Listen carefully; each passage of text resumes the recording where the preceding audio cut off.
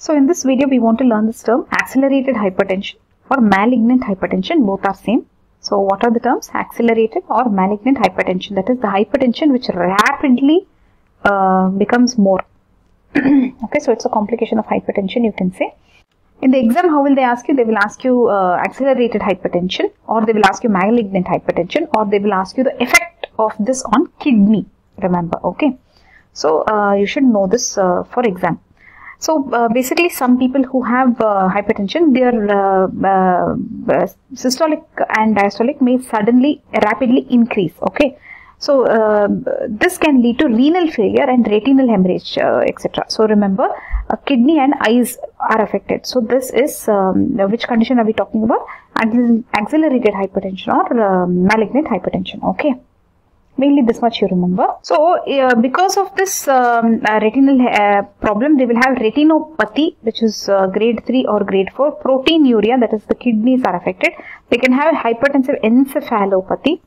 Left ventricle failure also may occur if it is not treated. Okay. So basically, why is all this happening? That you should understand. That is the pathogenesis, right? What is happening exactly? So the uh, arterioles uh, are affected. Microvascular damage is happening. Okay. So what are the words you will write? Necrosis in the walls of small arteries and arterioles. This is called as fibrinoid necrosis. So arterioles are having what? Fibrinoid necrosis. This you have to write in your exam. This can lead to thrombosis, intravascular thrombosis. So where are arterioles? Here. here you have the arterioles, right? So the artery is becoming arterioles here, here.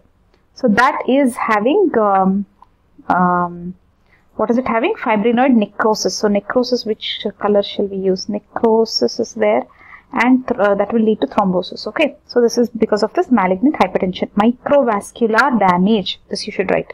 Directly they are showing you the kidney. This looks like a glomerulus to me. So fibrinoid necrosis they are showing here of afferent arteriole. That is the one that is entering the uh, uh, glomerulus right? So they are saying fibrinoid, fibrinoid necrosis of afferent arteriole. So this is the change in the kidney, remember? And then they are showing some onion skin uh, lesion in this diagram, onion skin lesion. Um, I'm seeing that here. I'm thinking that this is onion skin lesion. Um, that is the hyperplastic arteriolitis, some kind of an inflammation of your arteriole.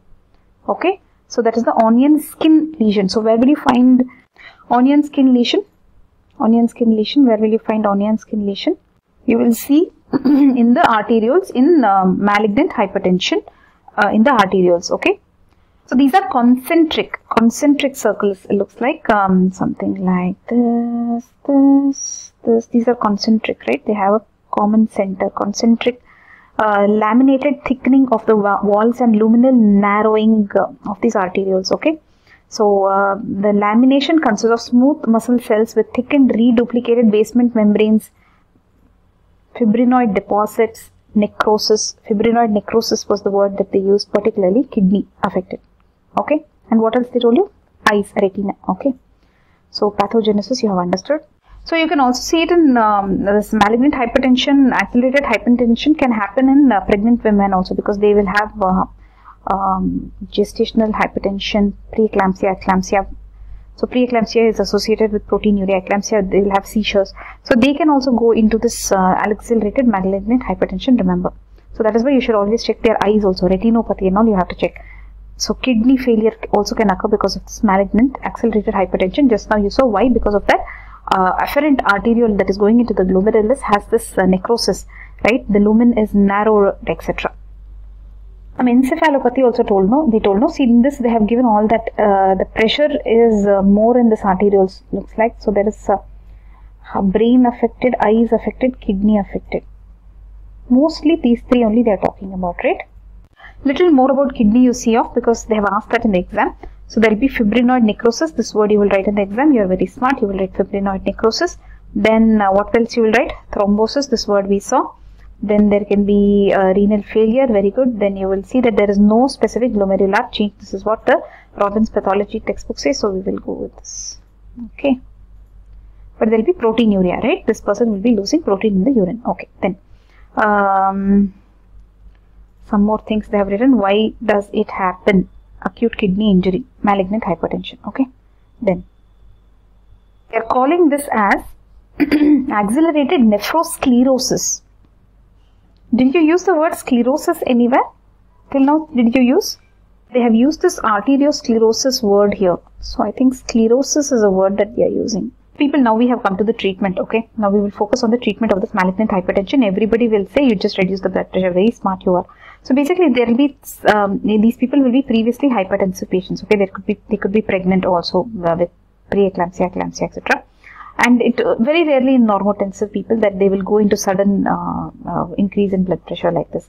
So uh, treatment, what they're saying is uh, don't reduce uh, it um, the BP too quickly. You just do a controlled reduction in one to two days. That is 24 to 48 hours. you just reduce the blood pressure to 150 by 90 millimeter of mercury, which is the borderline for your hypertension. Correct? 150 by 90 millimeter of mercury. Correct?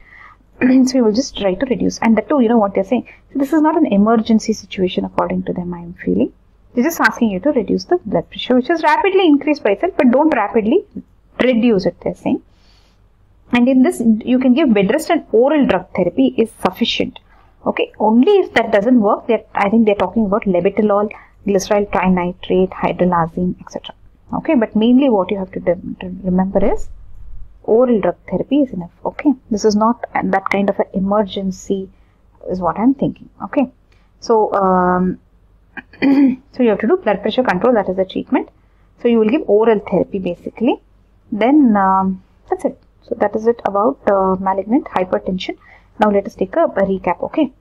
Accelerated hypertension they can ask in the exam. Malignant hypertension they can ask in the exam. They can also ask you the changes that are happening to the kidney okay? Because of uh, this uh, accelerated hypertension or malignant hypertension. Remember, both are same. So, basically, this will lead to re renal failure, retinal hemorrhage. Okay, are you able to see? It will mostly lead to kidney and eyes. Okay, eyes are affected, right? That you should that much you understood.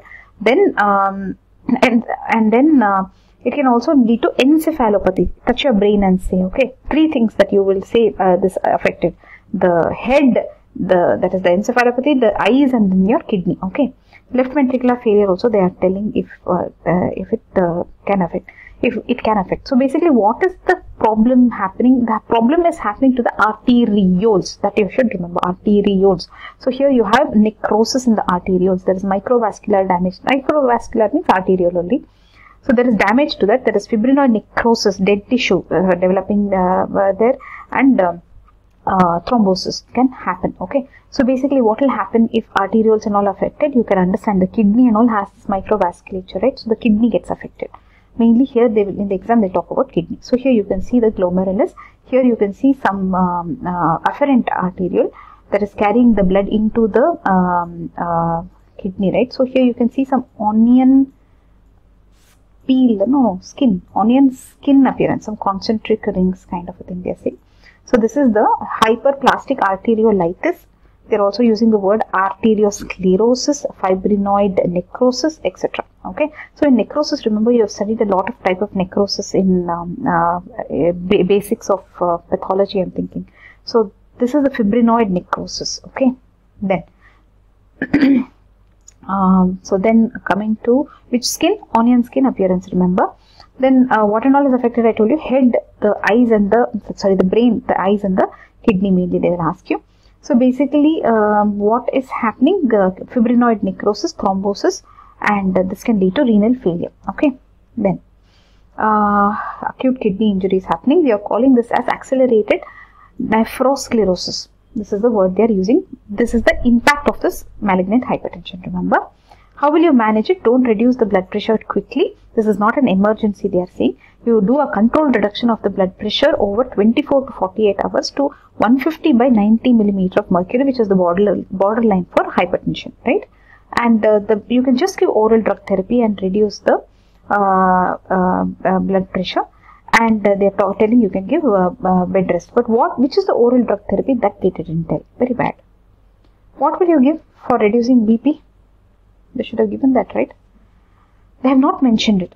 So I will leave that. Uh, but uh, however, the normal drugs we give is uh, amlodipine, etc. Right? So they want to reduce the uh, blood pressure. Okay, so uh, orally. So uh, they're saying that you just reduce it to 150 by 90 millimeter of mercury over 48, by 24 to 48 hours. Okay. so oral drug therapy is sufficient in this condition. That's what they are trying to say.